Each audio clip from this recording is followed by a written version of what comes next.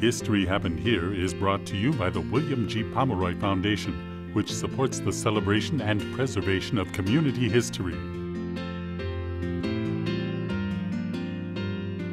In 1913, the Spirit of 1776 wagon, which dates to the American Revolution, was donated to women's suffrage advocates by the I.S. Remson Wagon Company of Long Island, New York, as a publicity stunt.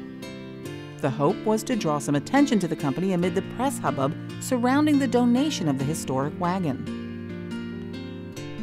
The Quaker suffragist Edna Buckman Kearns used the wagon in pageants, parades, and events, the American Revolution being an often referenced idea among suffragists.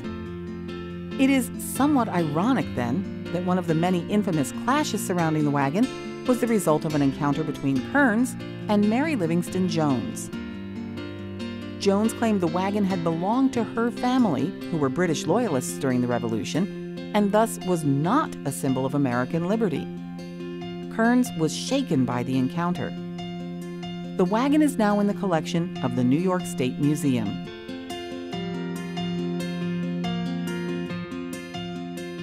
Do you have an idea for a marker in your community? Let us know. Visit WGPFoundation.org to apply for a marker at no cost to you.